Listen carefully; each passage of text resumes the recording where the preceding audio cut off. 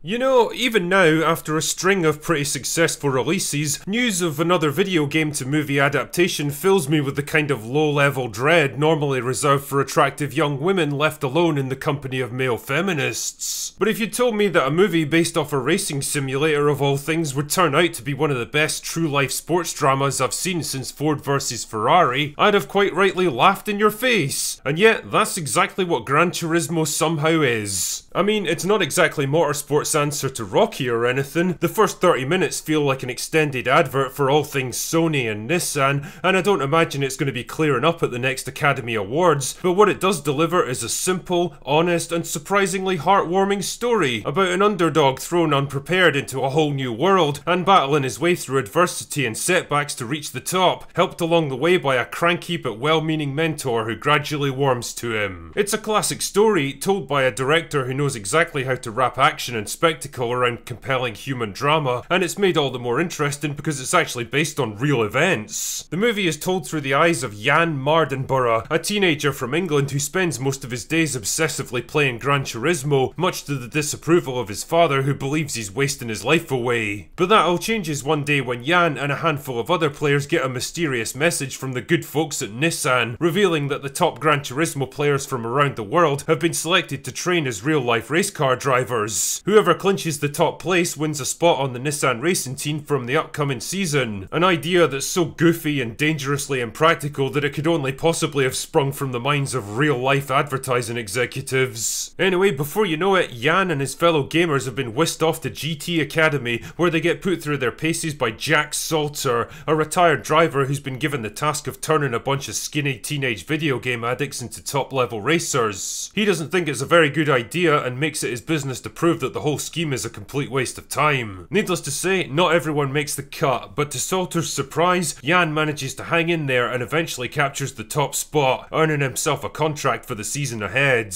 Pretty soon, he's in his first race, which turns out to be a real baptism by fire. His fellow racers and even his own pit crew treat him as kind of a joke and do their best to force him right out of the sport. And when a near fatal crash threatens to prove them all right, will Jann have what it takes to fight his way back, or will give up and walk away for goods. Now, I'd be lying if I said there was anything particularly subversive or unexpected in Gran Turismo. In many ways, it's content to drive a well-worn and reliable path with all the stock elements you'd expect from a sports drama like this. The plucky underdog given a million to one shot, the grouchy and aggressive mentor who seems unforgiven but ultimately pushes him to reach his true potential, the early success that shows what he can accomplish, the disastrous setback that damages his confidence and forces him to dig deep for a triumphant comeback at the end. It's all here and it all works perfectly well, partly because there's a kind of earnest sincerity to everything that it does that seems almost like a charming throwback to a different era at this point. There's no smug, ironic, self-deprecating jokes trying to undercut every moment of serious drama, no attempt to poke fun at how silly the concept is. The movie wants you to buy into its premise and the people involved in it so that the dramatic moments actually hit home with real impact. The second reason is the direction. Neil Blomkamp has been a favourite of mine ever since District 9 burst onto our screens more than a decade ago, but I think ever since then he's struggled to find his niche. Gran Turismo proves that he's absolutely still got it as an action director.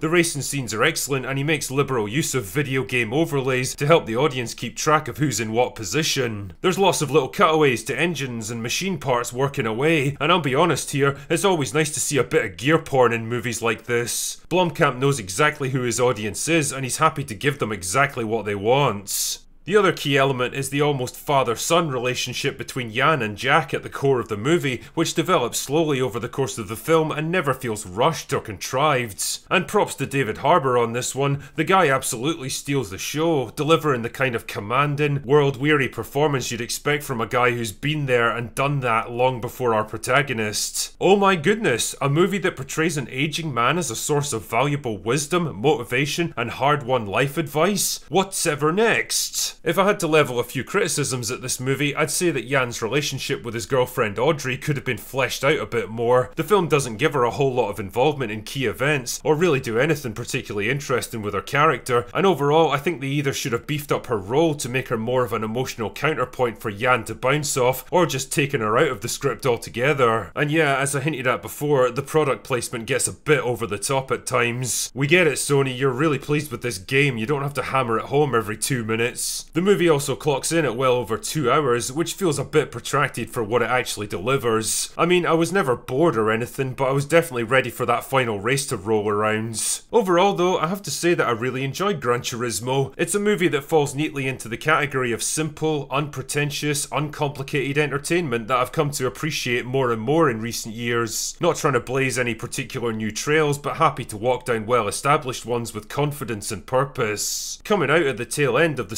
summer movie season, I've got no idea whether it's going to find much success at the box office, but honestly, if you need a break from Barbenheimer mania, then you could definitely do a lot worse than this little gem.